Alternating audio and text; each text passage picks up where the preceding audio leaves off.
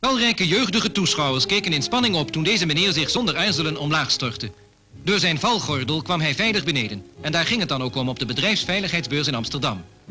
Behalve onbreekbaar glas liet de beurs een wel heel veilige looplamp zien waarvan de contacten zelfs in het water de stroom niet doorgeven.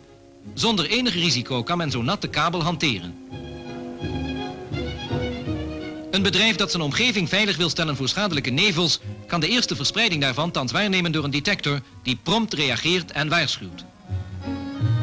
Ook de helm is een belangrijk beschermingsmiddel, mits hij deugdelijk is. Er is nu dan eindelijk een apparaat dat de helm afdoende beproeft... zodat men later niet voor onaangename verrassingen komt te staan. Met een pasta kan men bij het werk de huid van de handen beschermen. Ook dit ter voorkoming van bedrijfsongelukken... waarvan er in ons land elke 32 seconden één gebeurt. Zelfs een brokje zink kan men zo in de handpalm in zoutzuur laten oplossen.